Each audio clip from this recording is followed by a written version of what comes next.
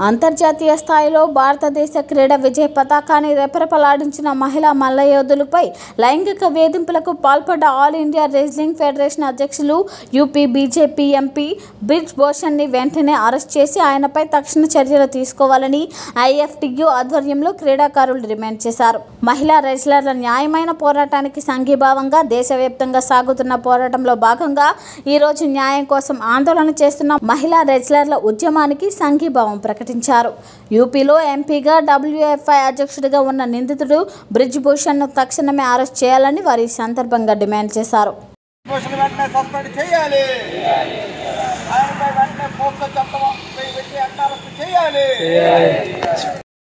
Today I am here. In this activity, there are one of Charan Singh who uh, neglecting us. We want to ha- harassment uh, to them. We want to uh, justification to them. Uh, suspend suspend the board. Who the Charan, Charan Singh? We want to suspend them. Thank you.